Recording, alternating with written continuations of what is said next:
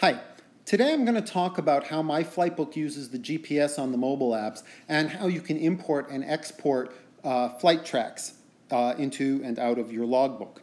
I'm doing the demo today on an iPad, but all of this applies just as well to an iPhone or to an Android phone or tablet, uh, as long as you're using the My MyFlightbook app uh, for the respective uh, platform. So I'm going to start here on the new flight page, but actually the first thing I'm going to do is just talk about the settings that you want to turn on in order to actually make use of the, of the GPS. So in the lower left corner here, where it says settings, I'm going to tap. And I'm going to scroll down just a little bit, and we're here we're in the middle of the screen uh, is where the, the, the key GPS-related options are. The first one here is auto detect takeoffs and landings. This is what tells the app whether or not it should be listening to the GPS when it thinks a flight may be in progress to try to figure out if you've, uh, if you've gone airborne or if you're, you've touched Earth. Um, and it does this using uh, the speed of the, the, the, ground speed as reported by the GPS. And you can actually see that down below here where it says takeoff speed. Um, and the idea is uh, that uh, you know, an aircraft like a Piper Cub uh, has a very low takeoff speed, and a, a, a, Boeing 777 has a very high takeoff speed. Uh, and so you can set the, the takeoff speed uh, based on the kind of aircraft that you're flying so that you get the most accurate results. Uh, and if you, anytime you exceed that speed, I treat that as a uh, takeoff event. Anytime you fall below that speed minus a little fudge factor, that's a landing event. Optionally, you can also record your flight data. Uh, this is completely independent, but you do need to uh, have uh, GPS permissions to, to do it. And in this case, I'll show you not only your airport to airport connect the dots path uh, on the map, but I'll also show you your path through space. Uh, the connect the dots path is blue, the path through space is red, that's how you can tell them apart. Um, by default, I do this every few seconds because that gives you a perfectly good picture and it doesn't uh, have enormous, uh, uh, enormously large data files. So it's a lot faster to upload and download and to work with when you're doing analysis on the web. But there is an option uh, here to record in high resolution if you're using third-party apps like CloudAhoy that require a higher level of resolution. Uh, and when I, when I do that, I record every sample that I receive. There's another option here called flying at night, which you probably will never need. Uh, in the US, of course, night flight uh, is from the end of evening civil twilight to the start of morning civil twilight, and night landings are from one hour after sunset to one hour before sunrise. Uh, but these rules actually differ around the world, and so if you need to be flying with different night rules, you can set that here.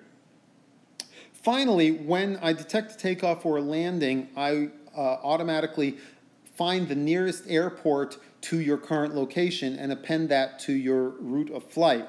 Um, so there's an option to include heliports in that. Sometimes heliports are, are co-located with, uh, with airports or sometimes uh, with the margin of error in a GPS, uh, if you're getting poor uh, signal, it might pick something up from the hospital a block and a half down the road.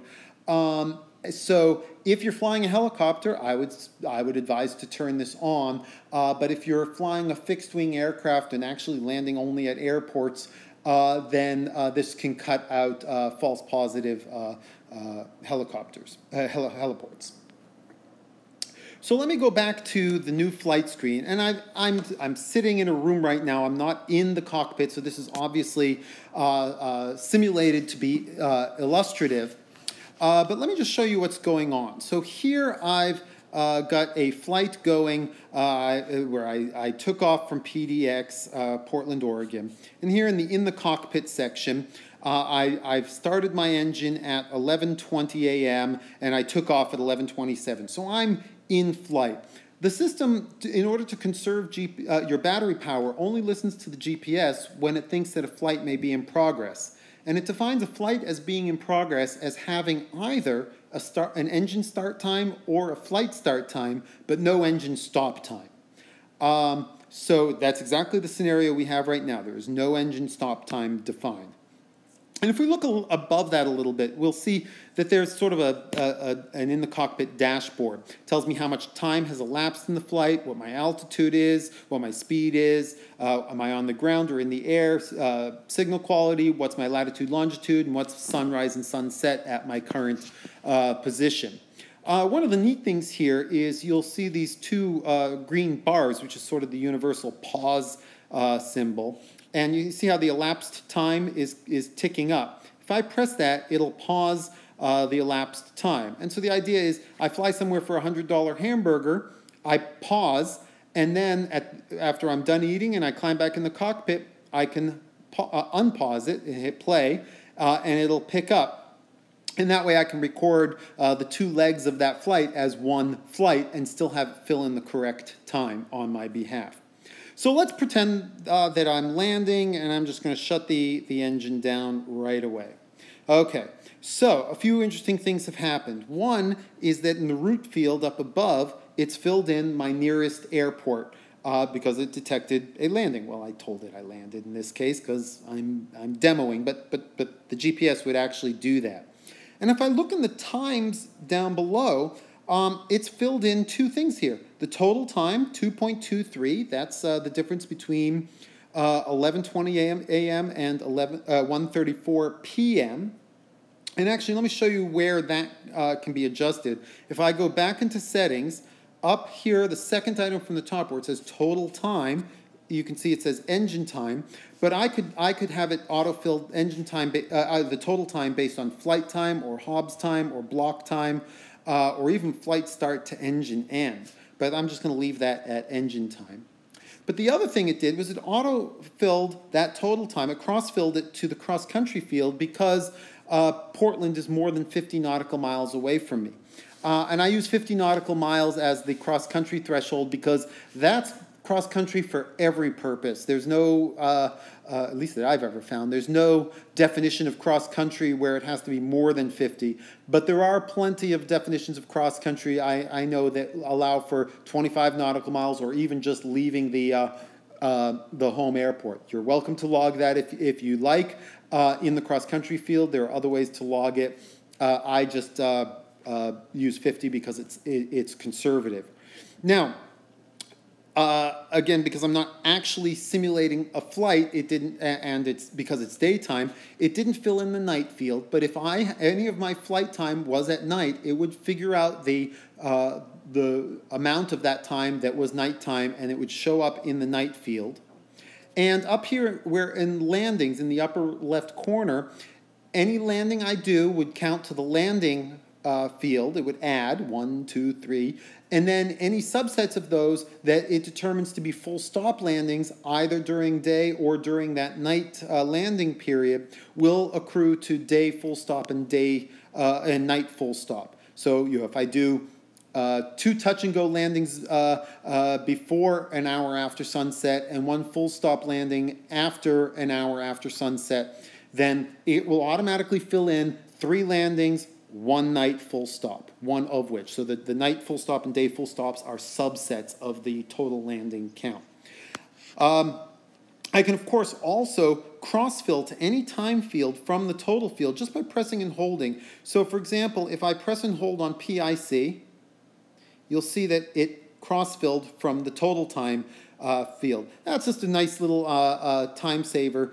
Uh, so the, the system, based on the GPS, was able to fill in my route of flight, all of my landings, my night flight, my cross country, my total, and with a little bit of press and hold, I can get in the rest of the fields. So all that's really left for me is to put in some comments, fill in any approaches or any other properties that can't be detected, and the flight's ready to save. So it, it saves you a lot of data entry and it makes sure that it gets it nice and accurate. All right, I'm going to change gears now and show a little bit about how you can share data in and out of MyFlightbook. So I'm going to switch to my recent flights. I'm going to pick this Angel flight from May 25th, the second uh, most recent flight, because I think it's a, it's a good flight uh, uh, to show. You notice actually I have some pictures uh, from that flight. I'll talk about that in just a second. If you look at the route field, you'll see that there are two buttons, on, uh, circular buttons on the right-hand side. A little plus button that will append uh, the nearest airport uh, if you tap it, or if you press and hold it, will append your current uh, latitude and longitude. And then there's a little um, eye in a circle, which will show you your route on a map. So let me uh, zoom in here. And you can see, I, I mentioned I was going to show those, uh, talk about those pictures. I took those pictures while flying over the Cascades, and you can see exactly where they were, uh, uh, where, where they were taken, where I was when they were taken. And if you want to see it in more uh, detail, you can just tap it and uh, hit the, the information button. And uh, there's the picture that I got of Mount Rainier. Kind of nice picture, I think. The blue line is my airport to airport route, and the red line is my uh, path through space. You see, you can see I got vectored around a little bit. It actually looks like my paths crossed, uh, but they but they didn't. Anyhow, suppose I want to send this to uh, uh CloudAhoy. If you look up on the toolbar, the rightmost uh, icon is a box with an upward facing arrow. That's uh, Apple's standard send icon. So if I tap that,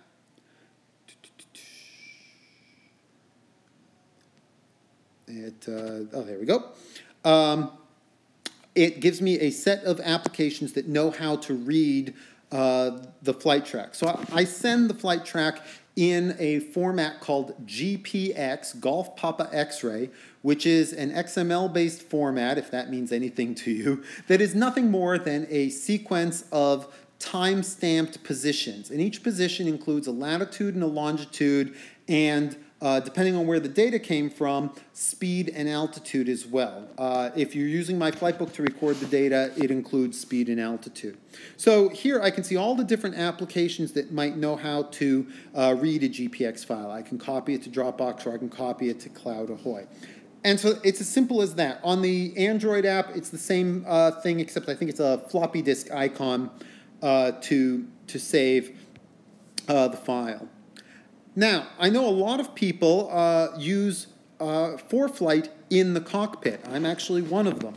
You can use ForeFlight to record your, your flight track if you like.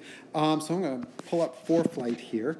Um, uh, or you can use MyFlightbook. My flight book runs in the background, and that, that uh, should work just fine. And uh, uh, but, but whichever one you use, if you if you use an app like uh, like ForeFlight or you use a Bad Elf or, or similar, it's a, a, very similar process to what I showed um, to get it into MyFlightbook, except that obviously instead of going out of MyFlightbook, you're, you're going to do a send from that app and send it to MyFlightbook. So here I'm going to pick uh, a, a flight from October here, the second one down here, and uh, this is in the track logs for, for flight. And in the upper right corner, I'm going to tap the little send icon, same icon, and here it says open KML in.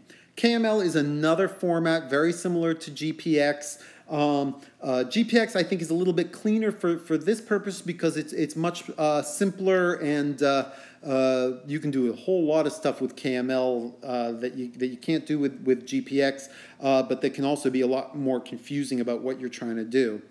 so I'm, if I tap open KML in, it's the exact same thing. So I could send this from ForeFlight to Dropbox or CloudAhoy, or da da da da, I can copy it to MyFlightbook. So if I tap on that to bring it into MyFlightbook, my flight book is going to read that file and say and ask me if I want to initialize a flight from the imported flight track data. And I'm going to say okay. And now it's reading that flight track that came in from ForeFlight and it, here, it created a flight based on that. And in fact, if I tap on that little circled eye, here you can see the, uh, uh, the flight as, uh, as imported uh, from ForeFlight. And uh, that's going to stay in my flights pending upload uh, list here um, until, so, so, that way I can edit it and add any comments as necessary before uploading it. So I hope that helps uh, uh, explain some of the, the kinds of things that you can do with MyFlightbook and uh, the GPS and why uh, I encourage you to use uh, the MyFlightbook app when you're flying. Thank you.